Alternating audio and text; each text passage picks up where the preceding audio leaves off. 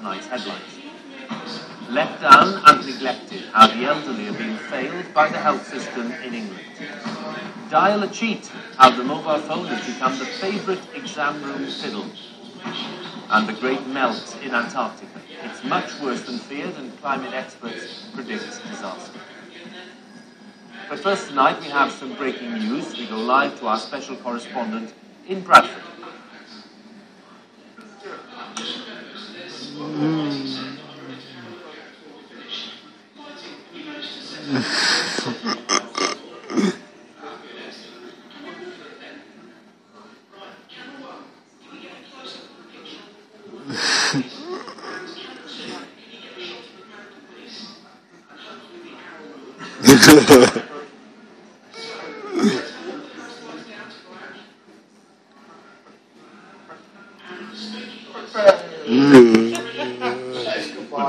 on that story just as soon as we have it. But from all of us here, Uh,